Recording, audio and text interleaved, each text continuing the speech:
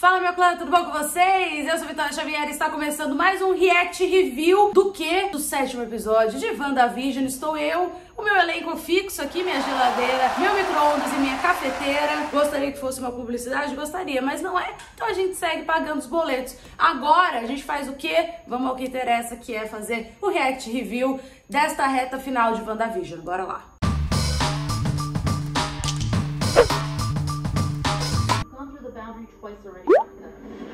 Então, esse rolê aí. Acho que a Mônica tá com poder, né? Porque mo- modificou ela. Mentira, que é tipo o Kardashians. Esse modelito roupão e o cabelo meio assim, eu queria vestir isso pro resto da minha vida. Mas em São Paulo faz um calor de 850 graus, tá impedindo o meu look. Tá bugando a realidade, gente? É isso? Vai, quem tá desaparecido? Ah, é, tá tipo bugando várias realidades. Trocou o leite pelo leite antigo. Yeah, I'm not sure what that's. Obrigada, Wanda. Obrigada, obrigada.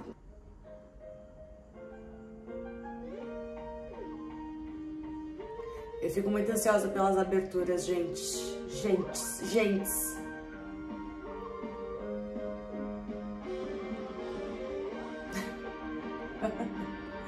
Wanda, Wanda, Wanda, Wanda, Wanda, Wanda, Wanda. Amei. Tem tipo uma pegada meio blackish, é, The Office, é uma vibe assim, né? Ai, pronto, Visão acordou. Olha os policiais todos, palhaços. Muito bom. Agora, cadê a Doctor? At this gig, I gotta be honest. It doesn't really speak to my skill set. I put in for the bearded lady, but this alabaster complexion wasn't. Será que ela sabe? Não. Será que ela tem consciência? Não. You don't remember me from Ah, No, answers. é então, por quê? Porque ela tá perdendo o controle, entendeu? Pra quem achava que ela tava por trás e tudo certo, pensado. Não tá. Ela tá tipo, deixa a vida me levar. Pique Zeca Pagodinho. Vamos ver no que dá. Entrega e vai. Agora, eu amei as outras estéticas, 60, 70. Agora, essa daí, maravilhosa. Gente, ela tá pirando, né? É isso que eu tenho pra vocês. Porque se ela controla tudo, só que ela não sabe o que ela tá controlando e o que ela tá fazendo, então vai começar o rolê a dar errado mesmo. Hayward wasn't decommissioning Vision. He was trying to bring him back online. Nothing worked until. Wanda stole Vision's body. That's why he was so focused on tracking Vision inside the Hex. Não entendi nada. Ah. Ai, tá. O Hayward quer usar o, o Visão como, tipo, arma. Ou seja, ele é contra a Wanda e a própria equipe dele, né? Porque esse plano é... É bem, bem cara do, desse Hayward aí. Bem cara dele. Ai, gente, só que eu estou ansiosa. Eu quero que essa história aconteça. Que isso? Que que é isso? Queria um uniforme da SWORD. É um bagulho pra entrar, tipo um helicóptero que entra na outra realidade da Wanda? Estou confusa, pra variar um pouco. Pronto, ela acordou. Look, uh, what is your name? Your real Darcy Lewis. Ai, Darcy Lewis. I intercepted a communication regarding your work. ai, finalmente! Será que a coisa vai andar? Ai, conversa logo! Tô nervosa. Queria muito ser amiga da Elizabeth Olsen, essa é a verdade, gente. Tô cheia de revelações hoje, hein? Ai, Wanda, que B.O., cara. Ai, o Flamingo, até o Flamingo, o pássaro lá gigante apareceu de novo. Muito bom. Essa é a frase que define o programa. Por que, que tá tudo indo por água abaixo? Por que, que ela não consegue resolver? You're not supposed to talk. A produtora entrou falando e ela, meu, o que, que tá rolando? Ai, mais um comercial. Let the world. É muito bom, que é igualzinho esses comerciais dos Estados Because Unidos mesmo. it?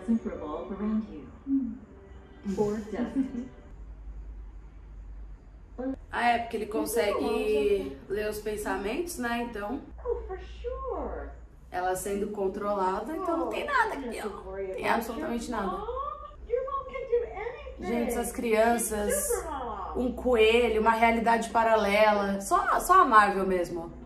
Ralph says I sugarcoat things, but you try telling a 10 year old that his mother is cuckoo for Cocoa Puffs. Primeira vez, tá vendo?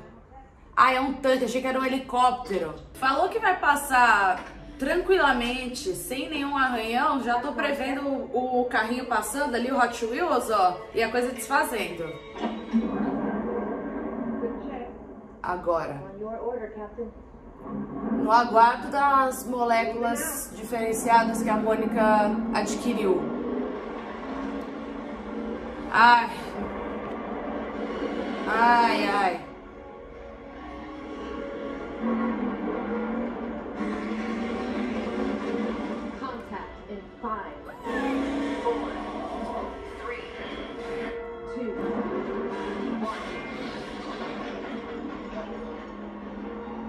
Falei? Falei? What happened to sailing right through? the density is matching her. Lógico. Meu, não vai dar. Ai, já era. O que, que eu falei? O que, que eu falei? The structural integrity is failing. It's disintegrating. No, it's being rewritten. Monica, get out of here. Ah, tá. Tá puxando e tá virando tipo um elefante de circo. Tudo que chegar perto agora vai fazer parte do, do rolê, né? Que nem os policiais. Falei. Falei que não ia dar bom. Mas olha só que interessante, olha a frente do. Não é um carro antigo? Eu tô ficando louca, tô vendo coisa onde não tem. Ai, ô Mônica, tá começando a me irritar, hein? Tá, tem um mix de pensamentos, né? Falou da Carol Danvers, obviamente a mãe dela.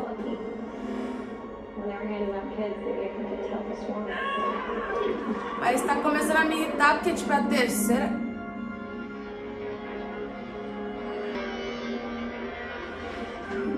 Que isso, Brasil?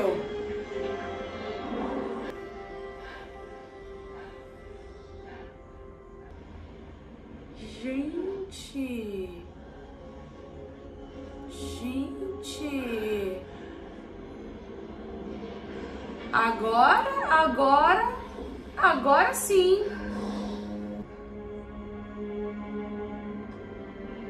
Paguei a língua. É isso que eu tinha pra falar pra vocês. Agora a Darcy tá contando pra ele. Não tem home, porque você tá dead.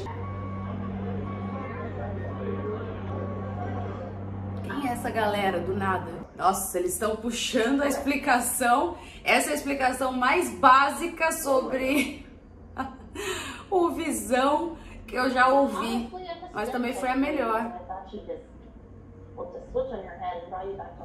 Básico, direto ao ponto, é exatamente isso que o Visão era. leave the head. Ele não pode sair porque ele morreu. Provavelmente. What I do know is that I've been watching WandaVision for the past week, and the love you two have is real. Ai, que fofo. Meu, eu fico impressionada com essa maquiagem do Paul Bettany. Ai, pronto, a Mônica chegou. Ai, ai, ai. Ah! Temos. Habemos poder. Ih, treta. Aqui, ó, Vandinha. Mano, ela tá querendo te ajudar. Boa, Mônica. Ela pirou, ela já não sabe se ela, se ela é boazinha, se ela é vilã. Ela já perdeu a mão. Agora, olha a Agnes. Tô achando que a Agnes pode surpreender.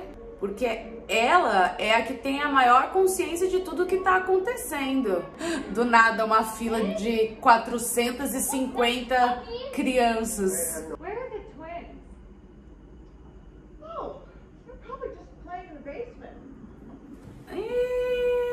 Falei que tinha alguma, algum rolê com a Agnes, que essa casa tá sinistrona.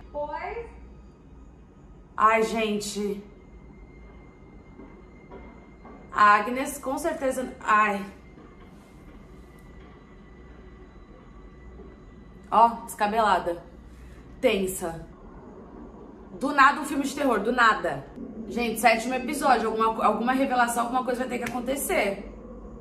Quem é Agnes? Tô tensa. Fiquem comigo, por favor.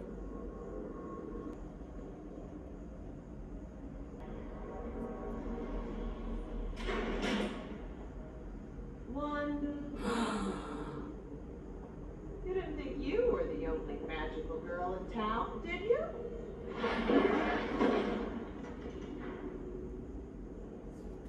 The name's Agatha Harkness. Lovely to finally meet you, dear. Meu Deus!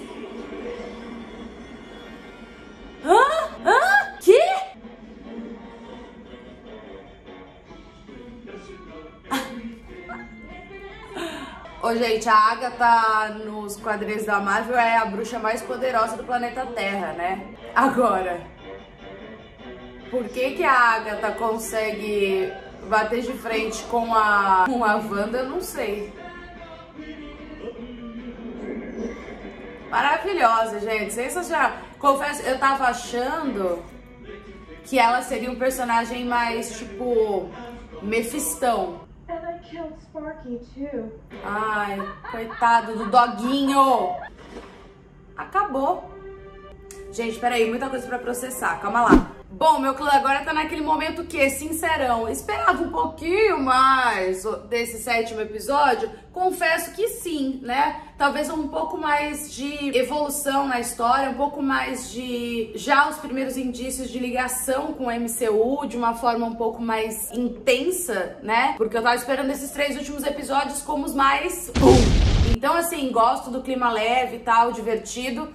Mas, a não ser que eles estejam guardando, assim, pros, do, pros dois últimos episódios, algo absurdo que a gente vai ficar, tipo, em choque, em estado de meu Deus, o que fazemos da nossa vida? Porque foi mais um episódio muito legal, maravilhoso esteticamente. A história deu uma pequena evoluída, mas não andou como eu esperava que iria andar né? Então a gente tem algumas revelações, como é o caso da Mônica de fato tendo poder, né? Se a gente for pegar ali nos quadrinhos, a Mônica com poderes, ela consegue se transformar em qualquer tipo de energia, consegue voar através de qualquer tipo de energia e é por isso que ela conseguiu atravessar a barreira, porque ela já tinha essas células alteradas. Por isso até que tem uma frase que aparece: "Ah, posso voar" e tal, naquele momento da que ela tá lembrando dela pequenininha, né? Então, agora ela vai ter esses poderes assim como nos quadrinhos, o que é bem legal, né? Um, um passo a mais pra personagem e eu confesso que eu estava ansiosa para ver. Gosto muito do fato da Darcy estar tá acordada, né? E tá ajudando aí o Visão, mas também ficou só naquilo, né? Porque não, não foi nem pra frente nem pra trás. Ele pegou mais algumas informações, mas nada mudou. E a gente tem por final ali a, a personagem da Agnes que se revela que já era uma das especulações, né? Que ela é a Agatha. Nos quadrinhos, como eu falei para vocês, a Agatha, ela é uma da, ela é a bruxa mais poderosa, né? Ela é, é da época de Salem, foi queimada na fogueira, enfim, é uma personagem legal, mas tipo, um detalhe do detalhe do detalhe dos quadrinhos da Marvel. Eu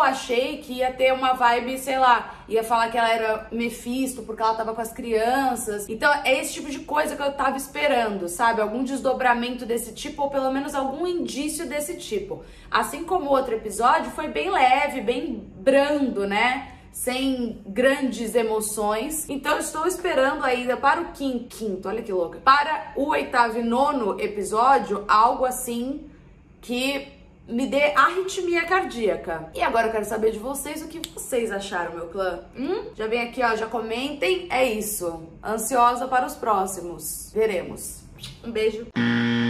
Bom, eu não tinha percebido, mas tinha cena pós-crédito. Então, assim, truquezinho, né? Pegadinha de Dona Marvel, porque nos últimos episódios, praticamente não, em todos os episódios a gente não teve cena pós e nesse teve, que foi o encontro do Pietro com a Mônica que estava tentando investigar, olhar. Agora me veio uma teoria na cabeça. Será que Pietro vai se aliar à Mônica para ajudar a quebrar essa loucura da Wanda? Porque, né, ele ainda tem um papel meio indefinido na trama, não colocariam o Evan Peters e não colocariam, não iriam introduzir de novo o Pietro se fosse só para ser mais um alívio cômico na série. Então, bem provável que ele e a Mônica se unam Isso vai ser bem interessante. Veremos, veremos, meu clã. Estou assim, ó, no hype pra, para os episódios finais. Tomara que seja, tipo, maravilhoso, sensacional. É isso, um beijo. Agora eu vou de verdade. Deixem as teorias de vocês.